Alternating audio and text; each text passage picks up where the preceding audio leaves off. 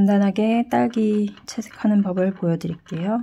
permanent rose 컬러랑 카드뮴 오렌지 컬러를 적당하게 섞어서 물 조절이 중요하거든요. 그래서 밝은 면 이런 부분들은 약간 하이라이트를 남겨둔다고 생각하면서 전체를 발라줍니다. 그러면서 이 윗부분은 밝기 때문에 어, 되게 채도를 낮춰서 물감이 좀 전에 썼던 그 같은 색에다가 살며시 물을 섞어줍니다. 섞어주는데 좀 전에 제가 티슈 페이퍼를 사용했듯이 물을 잘 흡수를 시키면서 농도를 조절해야 해요. 딸기 같은 경우는 자연물이고 또 과일이기 때문에 너무 터치가 요란한 것보다는 조금씩 이렇게 자연스러운 물감에 번지는 느낌이 살아났으면 좋겠어요. 이 색에다가 약간 반다, 아, Vandyke brown을 permanent rose 컬러에 발라, 어, 섞어주면서요. 어둠과 약간의 이런 줄기가 보이는 이런 어두운 면을 살짝만 해줍니다. 그 맑은 느낌의 수채화가 되고 싶을 때는 약간 요런 아랫부분들을 좀 너무 둔탁하지 않는 컬러 어, purple색을 좀 사용할게요. purple색에다가 약간 permanent yellow light색을 섞어주면 이런 이러한 brown 계열의 보랏빛이 나옵니다. 이런 색으로 밑에를 잡아주면서 그림자까지 함께 쭉 밑으로 내립니다.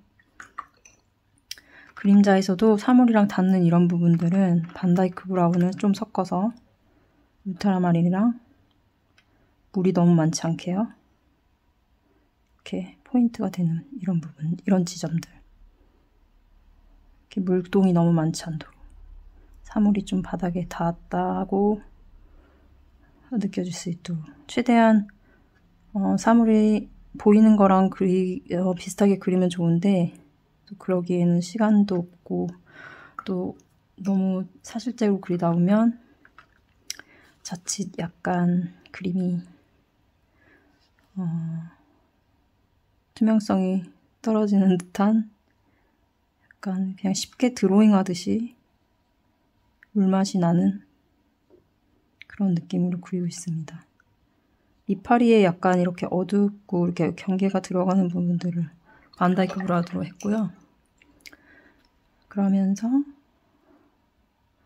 permanent green pale색을 어, 약간 오렌 어, yellow 톤과 섞어주면서 적당하게 이렇게 색을 칠해 보겠습니다. 같은 톤이지만 약간 물로 이렇게 조절을 해가면서 약간의 그 채도의 변화를 같은 색상 안에서 느껴보도록 이렇게 주고 있어요.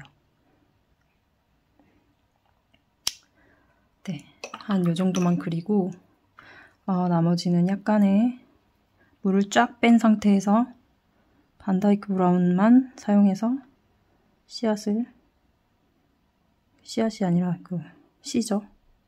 이 부분은 살짝만 이 정도만 하고 이번 시간은 마무리하도록 하겠습니다. 네. 시청해주셔서 감사합니다.